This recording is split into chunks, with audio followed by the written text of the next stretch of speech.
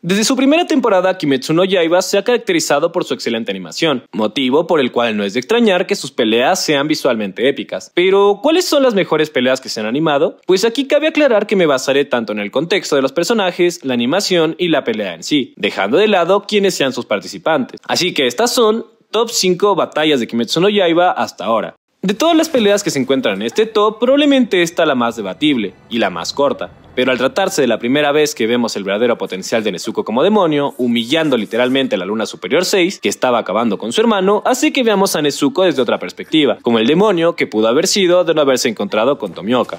Top número 5.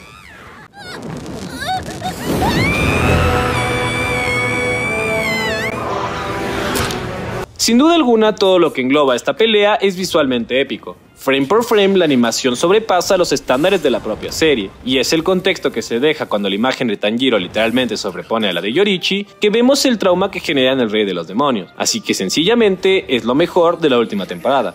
Top número 4.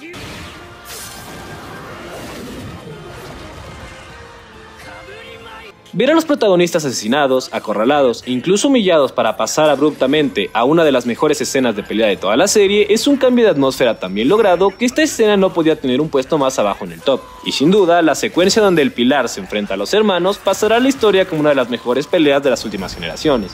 Top número 3.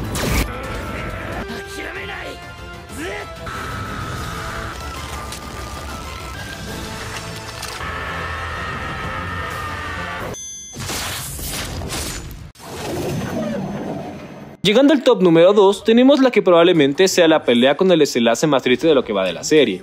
Las palabras de Rengoku que se contraponen a los ideales de Akasa, y sumado a que esta es la primera aparición de una superior en la serie, hacen que más de uno haya llorado tras acabar la pelea. Top número 2.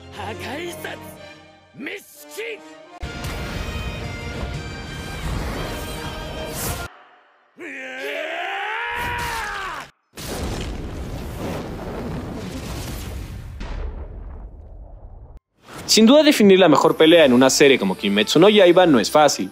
Tenemos peleas épicas de todo tipo y si bien esta no es ni de cerca la pelea más fuerte en cuanto a escalas de poder, toda la preparación que se le da con el misterio generado alrededor del ojo de Rui, los flashbacks y la determinación de nuestro protagonista, acompañados de la mejor banda sonora de toda la serie, hacen que esta pelea se mantenga como la más completa y de las mejores animadas.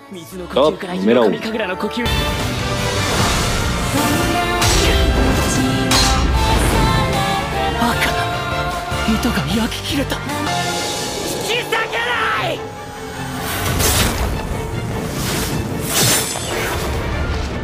Como siempre quiero agradecerte por haber llegado hasta este punto. Si te ha gustado deja tu manito arriba y suscríbete, comenta en la parte de abajo tu opinión personal y nos vemos en el próximo video.